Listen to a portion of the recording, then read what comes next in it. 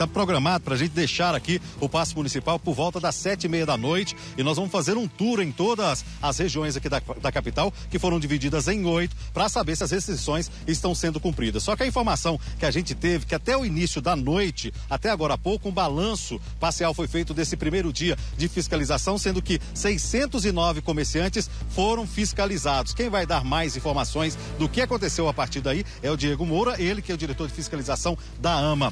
Diretor, boa noite, obrigado pela participação aqui. 609 comerciantes, eles acabaram sendo aí visitados pela fiscalização. E qual o resultado? Houve notificações? Houve, houveram multas? Exatamente. Boa noite, boa noite a todos os telespectadores. É, iniciamos hoje os trabalhos da Central de Fiscalização, né, que é a junção aí de todas as fiscalizações do município. E, e vistoriamos aí mais de 600 estabelecimentos. Destes, em torno de 36 é, foram interditados por estarem ali descumprindo é, o, o, novo decreto, né, e já se tratavam ali de estabelecimentos, inclusive a, a maioria deles reincidentes, ou seja, já te, teriam sido notificados no momento anterior. Então tiveram que ser interditados hoje, Douglas. Inclusive, quatro foram multados e 21 foram notificados e, como você disse, 36 foram interditados. Agora, qual a justificativa desses comerciantes? É, na verdade, o que a gente percebeu, percebemos que a maioria dos estabelecimentos obedeceram aí os protocolos,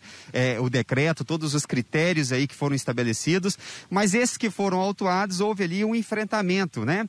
É, em relação, talvez, acreditando que não teria a fiscalização. E é o que a gente é, não espera, né? O que a gente espera é contar de fato com a, o apoio aí de toda a população, sobretudo dos comerciantes, nesse momento, para que possamos superá-lo de maneira rápida e voltar às atividades normais em breve. A Força Tarefa, ela vai aí, de certa forma, receber também é, denúncias e por qual meio essas denúncias podem ser feitas? Exatamente. A população tem nos auxiliado, auxiliado a prefeitura de maneira muito importante. E as denúncias são recebidas através, registradas através do aplicativo Prefeitura Prefeitura 24 horas. O cidadão pode baixar esse aplicativo que é gratuito e ali ele vai denunciar para gente estabelecimentos que estejam funcionando de maneira clandestina ou irregular ou até mesmo aglomerações. Nós temos aí equipes trabalhando é, é, durante o dia, durante a noite, durante também é, a madrugada, né?